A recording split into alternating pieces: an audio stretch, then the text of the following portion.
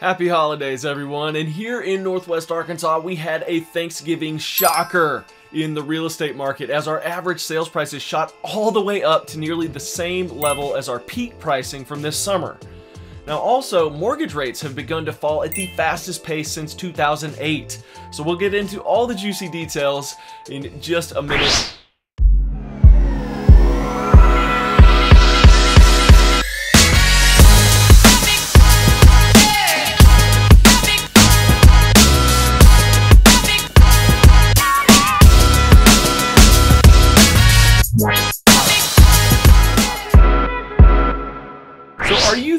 About making a move to Northwest Arkansas? Well, I've got just the thing for you. My team and I have put together the ultimate relocation guide, which will save you hours of research and a lot of headache. I've linked to it down below in the description. So it's got top employers, the best hospitals, and a ton of other stuff that you need to know before making the move. The best part is it's free. 100% absolutely free. So just click the link in the description or the top pinned comment I hope that helps. But you can see here our inventory is around that five months of supply, which is a slight seller's market, verging on being a, a more neutral uh, than what we've seen for most of this year. Now, a completely neutral market, uh, neither favoring sellers or buyers, would be six months of inventory. Now in this next chart, you can actually see the number of active and pending homes in November staying around the same levels that we've had, you know, from July, August, and October at 3,365 homes uh, active and pending, so under contract in the market, but they haven't closed yet. Okay, so this is also pretty comparable uh, to the peak inventory levels that we had uh, last year and also in 2021 but you know we're still nowhere near uh, the the inventory peaks from uh, 2019 or 2018, which were both over 4,000 homes in the market. So you know we're still dealing with lower inventory, low supply in our market, uh, and also now our number of closed transactions is actually starting its dip here into the end of the year. Uh, so coming all the way down to 694 sales in November. So overall, inventory slightly up and closings are slightly down, just a little bit lower, uh, which is totally expected to be uh, happening this time of the year. For how long properties are staying in the market, November's average days came in at 78. Uh, so we're getting back to more typical timelines uh, to sell properties, uh, which is similar to what we were seeing before 2020. Uh, you know, so back in 2019 and 2018. Uh, so this is generally good news for buyers because the longer that we see homes sitting on the market, the more willing those sellers are uh, to negotiate better prices and terms. Uh, however, our median days on market uh, you know, it, it, peaked back here in, uh, what was this, September, and so our November number came all the way back down to 47 days in the market.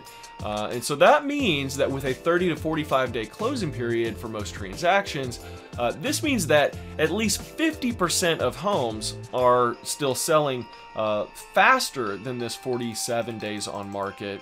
Uh, you know, so they're getting a contract within the first few weeks of being listed.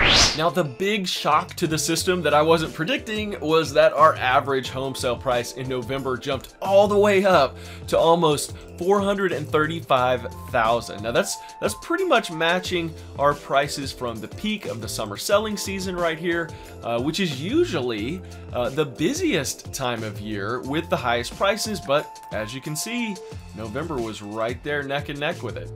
Now, our median price stayed even with the last three months here at 350,000. Now, as I've been saying recently, I expect this average pricing level to continue at or above the $400,000 level as we move through this winter. Uh, so now with the holiday gift of lower interest rates, uh, we might even see home prices move higher during this time. I honestly wouldn't be surprised. Uh, and a little bit more on those interest rates in just a minute. But let's take a look at the average prices per square foot around the area. Again, generally around $200 a square foot. Uh, so Benton County was 206, Washington County $196 a square foot, uh, within Bentonville proper, it was $233 a square foot, and Fayetteville was $216 a square foot. Now, let's talk about mortgage rates. Uh, they kept rising throughout most of this year, uh, getting all the way down to almost 6%, and then rising all the way up to about 8% in October. Now, upon the news that the Federal Reserve is pausing rate hikes for now, the bond and the mortgage markets reacted with a sudden drop in rates that we've been watching over the last month. And so we're currently all the way back down to 7.03 as of December 7th. And uh, clearly, this, this upward trend that we were seeing has been broken at this point and most analysts are expecting further rate declines as we move throughout 2024. However, those higher rates have kept many potential buyers on the sidelines this year, uh, which created a dampening effect on the true pent up demand for our homes. And so that's why we've been recommending over the last couple of months, we've been recommending that buyers actually take advantage of these opportunities that we saw this fall in order to scoop up a good deal. Uh, you know, we we have more inventory, we do have longer average days on market, and we have seen that some sellers are more willing to negotiate as that buyer pool has shrunk down. And now, with rates on the decline, it may be the best time that we've seen all year to jump in and grab the home that you've been waiting for while there's still relatively little competition from other buyers. So if you wait until the spring, prices will likely be much higher than they are now, and the competition for homes will become much tougher to win. So here's what this all means for you. Uh, our Northwest Arkansas real estate market is winding down into the winter with fewer closings taking place, as usual.